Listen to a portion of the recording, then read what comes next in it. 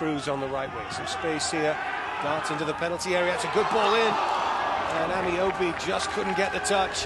That's probably the best we've seen from FC Edmonton. That's a good reaction by Ndjock too, because sometimes the most dangerous thing is when that player doesn't get a touch. You're, you're expecting so much that uh, that Ameobi's going to redirect that ball, and you're trying to anticipate it. So we see here that that foot flashes forward, that you're not really ready for that ball to stay on a straight path.